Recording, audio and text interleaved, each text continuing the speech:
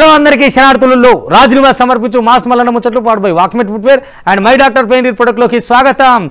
వచ్చేసి మీ నర్స్ కాక. అరుచుకుందాం రారులా అయ్యాల్టి మోక? ఇగో యాక్టింగ్ అంటే గిట్లుండాలి సినిమాలు తీసేటోళ్ళు కూడా వీళ్ళ మీద దేనికి పనికిరారు చూడురి. ఓట్లప్పుడు వచ్చి నెత్తిలో చేయి పెట్టి మాకు మంచిగా ఐసీ వేసి ఇప్పుడు అగ్గిలో దోసినాడు చేసిరు అప్పుడు ఏం చెప్పిరు మీకు ఎందుకు నేను ఉన్నగా కాకేయా మీకు నీళ్ళు వస్తాయి గీళ్ళు వస్తాయి అన్నీ వస్తాయని చెప్పిరా. ఇప్పుడు నీళ్ళు లేవా నిప్పులు లేవా వేసుకున్న పంటంతా ఆగం అయిపోయానా ఇటువంటి మాటలు ఎందుకు మాట్లాడతాయి ఈ బట్టబాజీ మాటలని? రైతులంతా ఎట్లా చేస్తున్నారు చూడురి? ఏడనుకుంటారా? ఇక చూడురు మీకు తెలుస్తుంది కథ.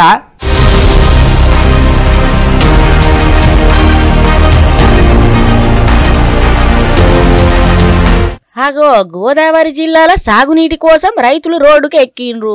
కాకినాడ జిల్లా తాళ్ళరేవు జాతీయ రహదారి మీద ధర్నాకు దిగిండ్రు. పంట పొలాలకు నీళ్ళు విడుదలయ్యాలని డిమాండ్ చేసిర్రు గమాండిగానే. జలవనరుల శాఖ అసిస్టెంట్ ఎగ్జిక్యూటివ్ ఇంజనీర్ ఆఫీస్ ఎదుట నిరసన తెలిపిండ్రు. రైతుల ఆందోళనతోని హైవే మీద కిలోమీటర్ల మేర ట్రాఫిక్ నిలిచింది. అటు రైతుల ఆందోళనకు అఖిలపక్ష నేతలు మద్దతు తెలిపిండ్రు. ఇక సర్కారు తీరుకు వ్యతిరేకంగా ఎండిపోయిన పంట పొలాలలో వాహనాలు నడిపి నిరసన తెలిపిండ్రు.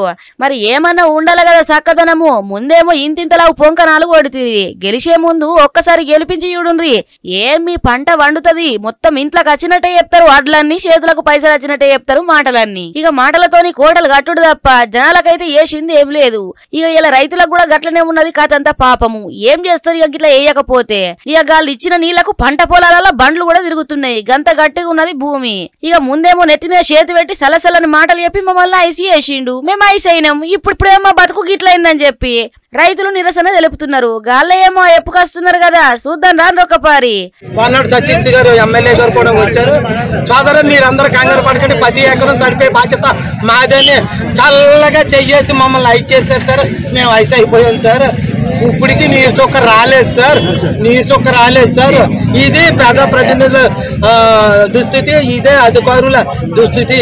ఏమైపోవాలండి ఈ రైతులు? ఈ దేశానికి అన్నం పెట్టే రైతులు. ఈ రోజున రోడ్డును పడి దొరల వచ్చిన పరిస్థితి ఏర్పడింది. మాకు నష్టపరిహారం ఇవ్వండి లేకపోతే ప్రతి ఎకరం అన్నా తోడండి. రైతు రైతుకి మల్లారని పత్తికొందికి లింక్ కాదు. గంటకాలకి మల్లారం మల్లారం పత్తికొంది రైతులు లింక్ లింక్ పెట్టొద్దు. అది చూసిండ్రు కదా అగ్గదన్నట్టు ముచ్చట. మరి ఎందుకు చేస్తారో ఏమో గిసుంటి గాలి చేతలన్నీ గిట్లా. గెలిచేదాకా ఒక మాట గెలిచినాక ఒక మాట. అదే గెలవక ముందైతే కాళ్ళు పట్టుకుందందుకన్నా సిద్ధమైతారు. లేనిపోని హామీలన్నీ ఇస్తారు. అడగక ముందే అన్ని తీసుకొచ్చి చేతిలో పెడతారు. ఇక ఇప్పుడేమో అయ్యా అని పోతేనేమో జాడిచ్చి తంతారు. ఇక్కడ కూడా గట్లనే అయింది. ముందేమో చేతిలో చేతేసి నెత్తి మీద చేతేసి నేనున్నాని భరోసా ఇచ్చి ఏ నేను గెలిస్తే చాలు మీ పంటలు వండినట్టే. ఏడాదికి రెండు పంటలు ఇస్తారు ఏమనుకుంటున్నారు? గట్ల నీళ్ళు పంపిస్తాం. అని చెప్పి హామీ ఇచ్చిండు. తీరా చూస్తే ఏమున్నది? నీళ్ళు రాక నేలంతా గట్టిగా ఇక పంట పొలాల బండ్లు నడుపుకుంటున్నారు. ఇక ఇంతకంటే ఏం చేస్తారు? గట్లుంటది గాలిపంగపాటి సర్కారు లెక్క.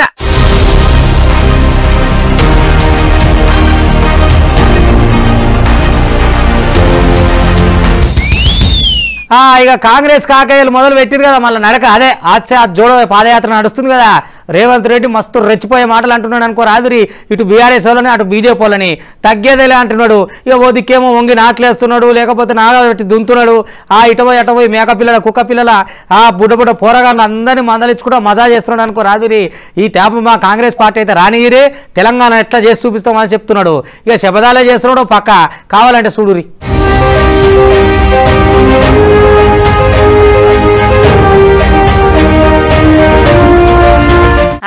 రెండు రోజుల ఈరామం తర్వాత టీపీసీసీ చీపు రేవంతం సారు పాదయాత్ర తిరిగి ప్రారంభమయ్యింది. ఇవాళ కలెక్టర్ బంగ్లాల కాలేజ్ నుంచి ప్రారంభమయ్యిందుల్లా యాత్ర. ఇక పశ్చిమ అసెంబ్లీ నియోజకవర్గంలో జోరుగా కొనసాగింది రేవంతం సారు యాత్ర. ఇక యాత్ర పరిచేంజ్ పేరుతోని రేవంతం సారు జోరుగా చేస్తున్నాడు పాదయాత్ర. మార్గం మధ్యలో జనాలను కలుసుకుంటా గల సమస్యలు అడిగి తెలుసుకుంటా ముందుకు సాగుతున్నాడు రేవంతం సారు. ఇక సర్కారు వైఫల్యాలను ఎండగట్టుకుంటా విమర్శలు గుప్పిస్తున్నారు. గట్లనే తాము అధికారంలో కాస్తే జనాలకు ఏం చేస్తామో వివరిస్తామని చెప్పుకొచ్చిండు మొత్తానికైతే యాత్రల. ఇక రాత్రి ఏడు గంటలకు హన్మకొండ అమృత జంక్షన్ కాడ స్ట్రీట్ కార్నర్ మీటింగ్ చేసిర్రు. ఇక మొత్తానికైతే రేవంతం సారు పాదయాత్రలో జోరుగా ముందుకు పోతున్నాడు. కేడర్ల కూడా జోజు పెంచుతున్నాడు. అడుగడుగున జనాలు కూడా జన నీరజనం బాగానే వలుకుతున్నారు. లా చూడుండ్రి.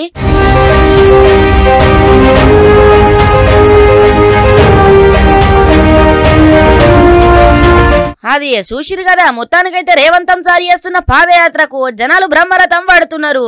ఇక జోష్గా ముందుకు పోయి జనాలను కలుసుకుంటాం వాళ్ళ కష్టాలు నష్టాలు తెలుసుకుంటా దారిలా వాళ్ళకు భరోసా కల్పిస్తున్నాడు. ఇక సర్కారు మీద కూడా బాగానే గరం అవుతున్నాడు రేవంతం సారు. మొత్తానికైతే ఎటు చూసినా గాని కాంగ్రెస్ కార్యకర్తలతోని జనాలతోని ముందల పోతున్నాడు రేవంతం సారు. ఇక రేవంతం సారి చేస్తున్న పాదయాత్రకు జనాలు కూడా బాగానే వస్తున్నారు మరి. మొత్తానికైతే ఇలాంటి పాదయాత్ర మస్తు జోరుగా అయింది రేవంతం సార్ది.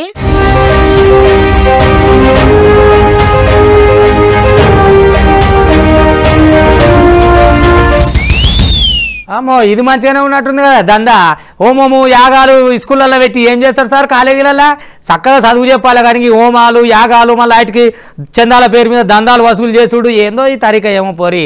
ఈ హోమాలతోటి ఏమొస్తుందా మాకు అని చెప్పి విద్యార్థి సంఘాల వాళ్ళు గట్టిగానే ఎగురుతున్నారు. అయినా సరే హోమం చేసి తీరుతాము. ఇక హోమానికి టీచర్కి ఇంత వీళ్ళ పిల్లగానికి ఇంత అని వసూలు కూడా చేస్తున్నారట.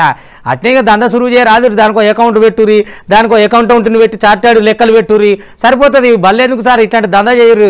వాళ్ళని కూడా గుళ్ళు చేయరు లేకపోతే. సరిపో సరిపోతుంది అని అంటా ఉన్నారు విద్యార్థి సంఘాల వాళ్ళు ఇంతకు ఏడ ఈ అంటారా? ఇక చూడుని.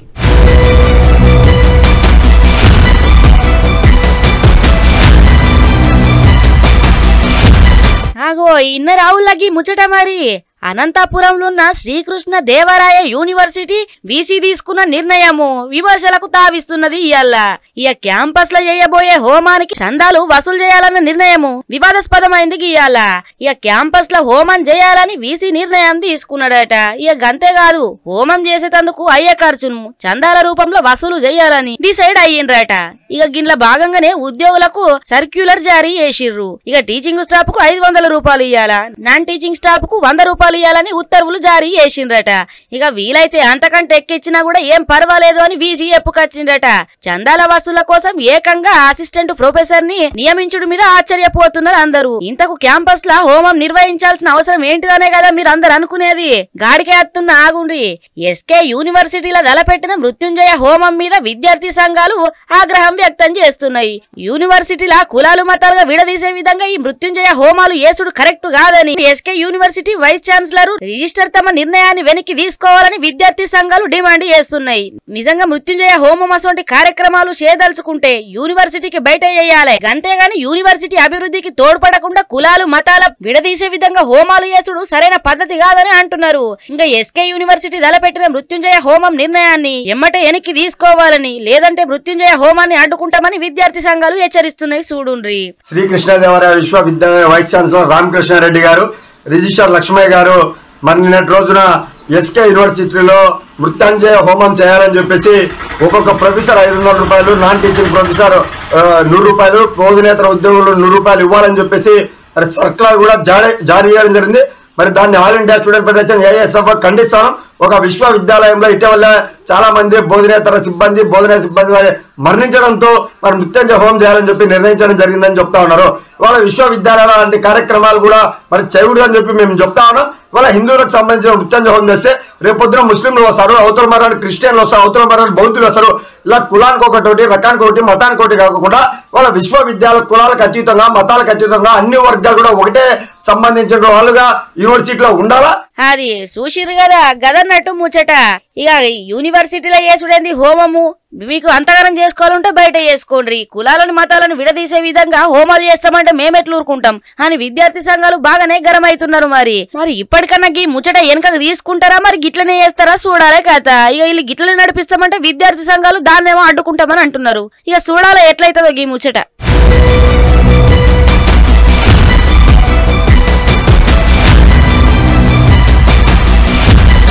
రాజ్నివాస్ సమర్పించు మాస్ మల్లన్న ముచ్చట్లు powered by Walkmate footwear and my doctor pain రిపోర్ట్లో ఒక చిన్న బిరేక్ తీసుకొని వద్దాం రాజ్నివాస్ సమర్పించు మాస్ మల్లన్న ముచ్చట్లు powered by Walkmate footwear and my doctor pain రిపోర్ట్లోకి తిరిగి స్వాగతం అని పరేషాను పాడైపోని కొమరాడ కాడ ఏనుగులతో వచ్చిందిలా ఇక అధికారులు సర్కారేమో పట్టించుకునేటట్లేదు. అవి తేపకోపారి ఊరకొచ్చి ఎవరిని చంపుతాయో తెలుస్తలేవు. ఆ, ఓ దిక్కు పంటలాగమాయే ఓ దిక్కు మనుషులు చచ్చిపోయే ఈ మాకు ఈ బాధ ఎట్లా పోవాలి? మేము బయటకు ఎట్లా వెళ్ళాలే ఆ చిన్న చిన్న పొరగాళ్ళు ఉండే బయటకు వెళ్ళాలంటేనే బుగులు పుడుతున్నదని. ఆ కొమరాడ ఊరోళ్ళు అయితే నాయన కొర్రి పెట్టి మొత్తుకున్న. సర్కార్కి అయితే చెవులు వినబడతలేవు కళ్ళు కనబడతలేవు. మరి అలా బాధ భగవంతుని కెరికిగా.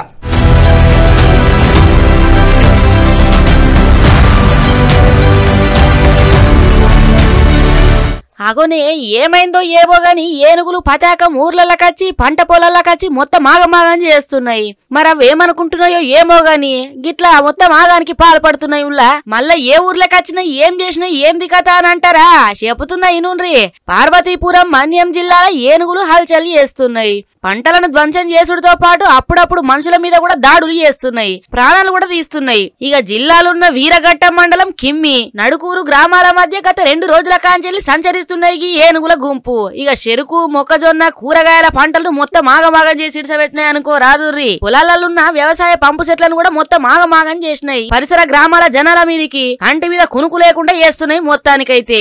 ఏనుగులు పంటను ధ్వంసం చేస్తున్న సర్కార్ అటవీ అధికారులు పట్టించుకుంటలేదని స్థానికులు మండిపడుతున్నారు. చూడుండ్రి. ఉదయం ఆరో గంట అయ్యేసరికి మాకు ఒక ఎకరన్నర కనిపించింది.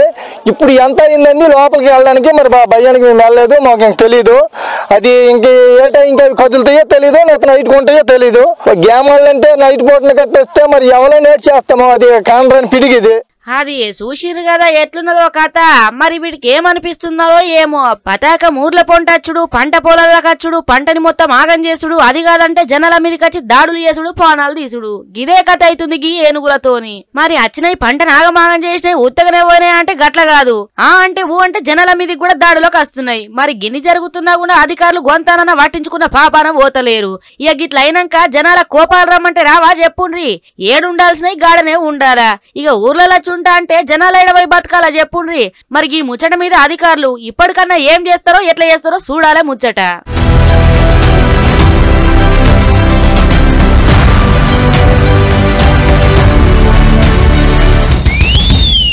ఫలానా పలానా నాన్న పెళ్ళుంది రావాలనేమో అని ఊకనే మాట చెప్తే అయిపోతుందా? పత్రిక ఇస్తే అయిపోతుందా? గిట్లా చెప్తే ఎవరైనా లగ్గానికి వస్తారు లా ఎందుకు రారు చెప్పు? పత్రిక ఇచ్చినప్పుడే మనసు కుదార్థం చేస్తుండు. అగో అందుకని వస్తారు అన్నట్టు మళ్ళీ అందులో ఒక సామాజిక బాధ్యత కూడా ఉంది సుమా. సర్కారు సాదే బాధ్యత ఉన్నది కాబట్టి పత్రిక ఏమంటే ఒక అందమైన పెట్టె పంపిండు. ఇంతగా పత్రిక ఏందా? ఆ పెట్టి అంటారా? ఇక నేను చెప్పను. ఆయన మీరే చూడరు సూచనలకు వాళ్ళకి నోరు ఊరుతుంది కాబట్టి ఈ లెక్కన పిలిస్తే ఎవరైనా పెళ్ళికి వస్తారు లా ఇంకా రెండు రోజుల ముందే వస్తారు రమ్మంటే. ఇగో గిట్ల విలువాలే మర్యాద స్వప్న.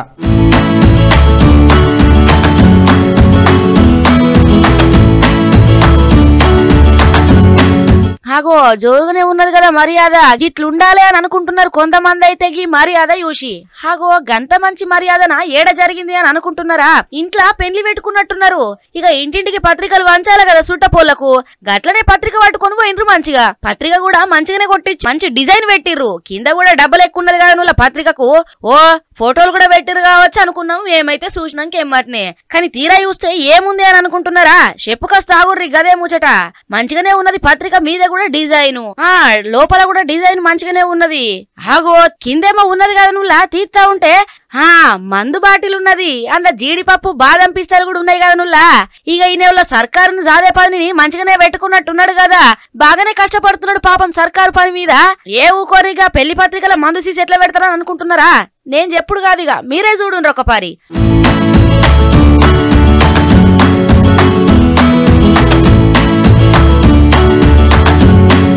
అది చూసిరు కదా ఎట్లున్నదో? మస్తు గమ్మత్తున్నది కదా నుల్లా ఇక మందు బాబులకైతే గిసోంటి పెళ్ళి పత్రికలు చూస్తే అబ్బా అనుకునేటట్టే ఉన్నది. గిసోంటి మర్యాద మాకు కూడా చేస్తే బాగుండు అని అనుకుంటారు కావచ్చు. గట్లున్నది కథ.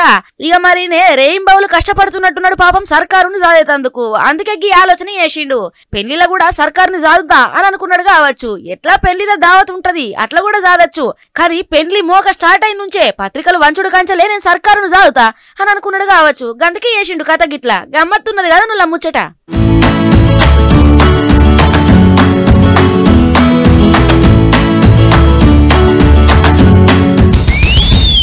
ఏ ఒక నీ పెళ్ళొద్దు నువ్వు వద్దు ఏం మంచం పెట్టినావా నువ్వు? పాత మంచం పెడితే ఎట్లుంటుంది సంసారం? అని చెప్పి ఓ పెళ్ళి పిల్లగాడు మంచం మీద పిల్లనే వద్దన్నాడు. అగో ఇది ఎక్కడ ముచ్చట నిజమే నువ్వు మరి ఆయన కొత్త మంచం కావాలట. కక్కుర్తి కాకపోతే అత్తగారు పాత మంచం పెడితే ఊకుంటారు లా పిల్లగాడు. ఏ మొత్తానికి పిల్లను వదిలిపెట్టిపోయినట మరి కొత్త మంచం చేయించిందాకనా ఎట్టనో ఎట్టునో కానీ ముందుగా అయితే ముచ్చట చూడురి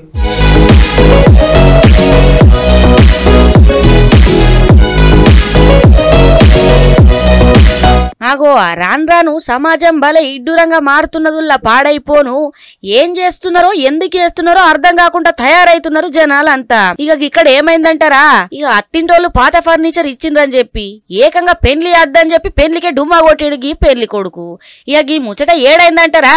హైదరాబాద్లో ఉన్న బండ్లగూడలో జరిగింది గీ కథ అంతా స్కూల్ బస్సు డ్రైవర్గా పనిచేసే మౌలాలకి ఎందిన మహమ్మద్ జకారియాకు బండ్లగూడ రహమత్ కాలనీకి ఎందిన యువతితోని పెళ్ళి కుదిరింది. సంప్రదాయం ప్రకారం వధువు తండ్రి శనివారమే మంచం ఫర్నిచర్ వరుడికి ఇంటికి పంపించిండు. ఇక అత్తింటోళ్ళు పాత ఫర్నిచర్ ఇచ్చిండ్రని చెప్పి అత్తింటోళ్ళ మీద కోపం పెంచుకున్నాడు పెళ్ళి కొడుకు. ఇక తీరా యుత్తే పెళ్ళి సమయానికి డుమ్మా కొట్టిండు.